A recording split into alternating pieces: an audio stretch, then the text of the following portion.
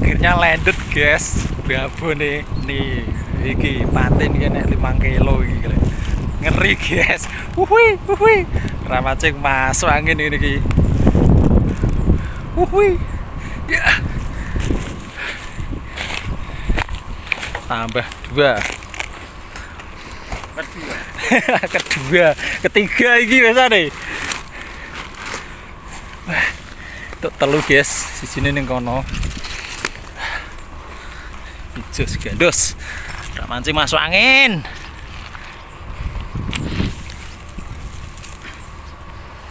Oke, ini hasilnya guys. Wih.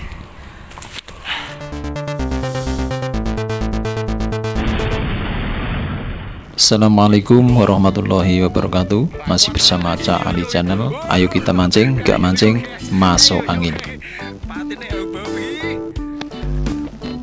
Pada video kali ini Cak Ali Channel akan berbagi tips Cara mengetahui lokasi atau titik spot Atau titik mancing untuk ikan patin Jadi para pemburu ikan patin atau yang menyukai ikan patin harus tahu atau harus mengerti titik-titik spot ikan patin itu di mana dan bagaimana cara mengetahuinya.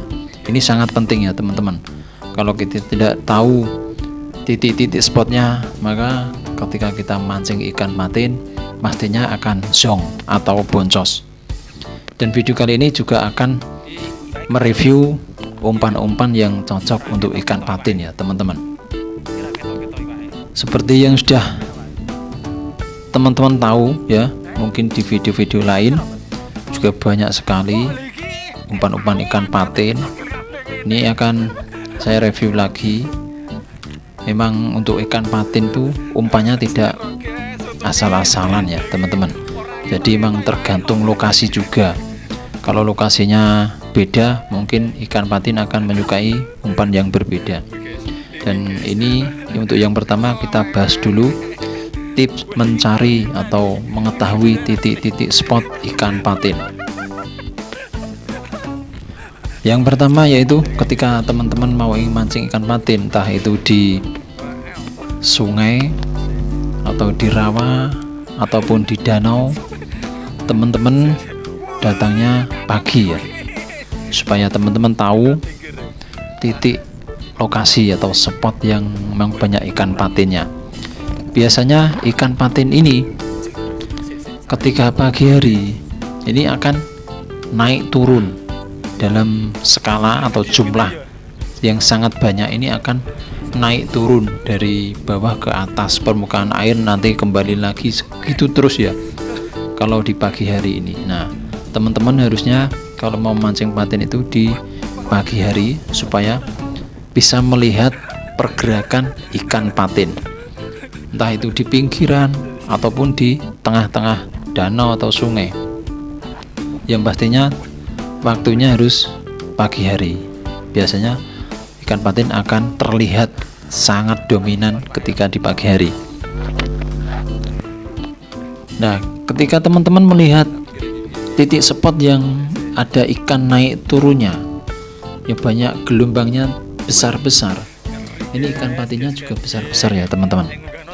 Jadi teman-teman bisa memancingnya atau melempar umpannya ke area yang banyak ikan matinya yang naik turun tersebut. Biasanya itu tidak akan lama. Ikan patin akan langsung menyambar atau memakan umpan yang teman-teman lempar ke area situ. Namun teman-teman juga harus tahu setelan pancing dan pelampungnya harus disesuaikan ya teman-teman. Jadi ketika ikan patin sedang naik turun teman-teman menggunakan setelan pancing yang cetek atau yang tidak terlalu panjang. Ya kira-kira satu jengkal atau satu setengah jengkal. Itu dari permukaan air atau dari pelampung. Jadi jangan terlalu dalam karena ikan patin ini sedang mengambang mereka sedang fokus dengan umpan-umpan yang ada di permukaan air. Mereka sedang bermain-main di permukaan air. Jadi, umpan yang akan cepat disambar ikan patin ini adalah umpan-umpan yang berada di atas ya. Jadi di paling satu sampai satu jengkal setengah. Nah, umpan-umpan tersebut akan sangat cepat respon, sangat cepat disambar ikan. Daripada yang tenggelam atau dengan cara yang dasaran. Jadi ketika ikan patin sudah berada di permukaan air, sudah berada di atas ini sedang bermain, kita menggunakan teknik ngambang ya, umpan yang ngambang. Dan umpan bisa dari tahu usus cakwe bakso roti. Nah ini banyak sekali umpan patin yang teman-teman bisa gunakan. Yang pastinya tekniknya dengan teknik ngambang. Nah namun ketika tidak ada sudah tidak ada pergerakan di permukaan air Nah, otomatis ikan patin ini sudah berada di dasaran air. Jadi teman-teman menggunakan teknik yang lain yaitu teknik dasaran. Biasanya teknik dasaran ini juga sangat manjur ketika memang sudah tidak ada pergerakan ikan patin di permukaan air. Tips ini sudah saya coba berkali-kali. Ini sangat manjur ya teman-teman. Memang kita harus mengetahui titik spot ikan patin tersebut dan tekniknya ini harus benar-benar kita tahu jangan asal-asalan. Contohnya ketika ikan patin berada di permukaan sedang main-main di permukaan air kita menggunakan teknik dasaran. Nah ini jarang sekali dimakan karena ikan patin masih di permukaan air.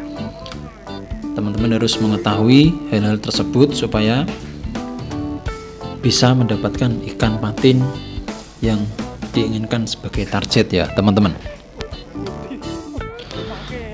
oke teman-teman.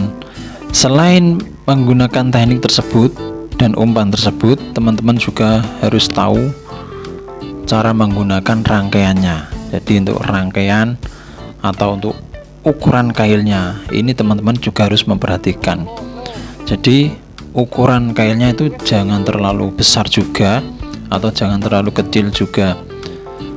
Yang tengah-tengah saja ya kurang lebih pakai ukuran 10 11 12 ya. Ini sudah cocok ya. Yang penting sudah terbukti kalau kail tersebut memang kuat untuk menarik ikan besar.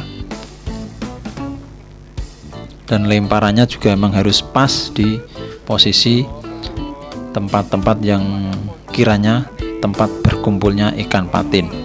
Jadi teman-teman harus mengetahui bahwa pergerakan ikan itu yang kelihatan tuh ikan patin apa ikan yang lain. Dan umpannya teman-teman juga harus benar-benar memperhatikan ya jika menggunakan teknik ngambang pakainya umpan-umpan yang sekiranya ringan di air seperti roti seperti tahu nah ini ringan di air jadi akan kelihatan sekali di permukaan air ya teman-teman ya di tidak terlalu dasar. Jadi mereka akan tahu ikan-ikan itu akan tahu bahwa di permukaan air ada umpan. Kalau untuk menggunakan teknik dasaran mungkin teman-teman bisa menggunakan yang umpan yang yang mudah tenggelam seperti bakso usus atau pelet atau yang lain-lain ya. Semoga video ini bisa bermanfaat bagi teman-teman mancing yang khususnya pemburu ikan patin. Untuk next video selanjutnya mungkin akan saya review juga rangkaian serta cara pasang umpannya. Semoga video ini bisa bermanfaat bagi banyak pemancing. Terima kasih. Jangan lupa untuk like, subscribe, dan share. Wassalamualaikum warahmatullahi wabarakatuh. Cali channel orang mancing masuk angin.